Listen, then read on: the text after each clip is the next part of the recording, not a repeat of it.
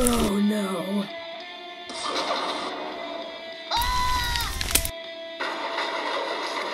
Give the advance cover fire!